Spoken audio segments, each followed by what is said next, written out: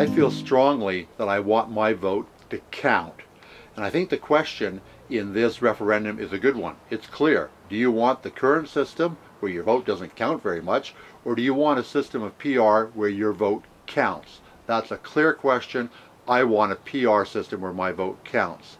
When it comes to the three different choices of PR, I'm going to look at them a little bit more closely, but any of them are better than the current system because your vote counts with PR.